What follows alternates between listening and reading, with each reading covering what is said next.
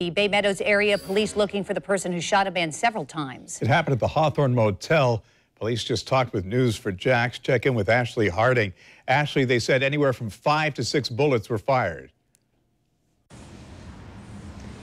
Yes, they did, Bruce, and they're trying to figure out what exactly led up to all this, what transpired in the moments before that shooting. That man now in the hospital fighting for his life. They say he was shot multiple times, but you can see what the scene looks like now. It's getting close to wrapping up. We noticed that some of the crime scene tape has come up, and JFRD is also here to assist in cleaning up this crime scene. Take a look at video, though, from when that scene was first unfolding, when it was most active. We did count several evidence markers. Apparently, it was witness people staying at the motel who heard those gunshots. They called police, and then police and paramedics found that man here in the parking lot, and he is now at the hospital with what are said to be critical injuries. They are looking through surveillance, trying to figure out more about what led up to this as well as potentially learn more about a suspect description. So that is information we are working to gather. If you know anything about this, of course, you are asked to call the Jacksonville Sheriff's Office. Crime Stoppers is also an option. You don't have to give your name.